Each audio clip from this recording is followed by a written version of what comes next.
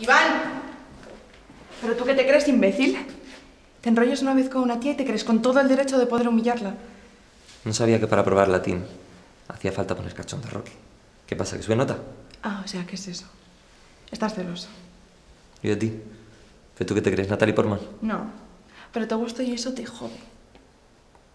Pero mira, que me da igual. Como te vuelvas a meter con mi padre, ¿Qué? te parto la boca. ¿Con qué mano? Con esta. ¿Tú eres imbécil? ¿Tú gilipollas?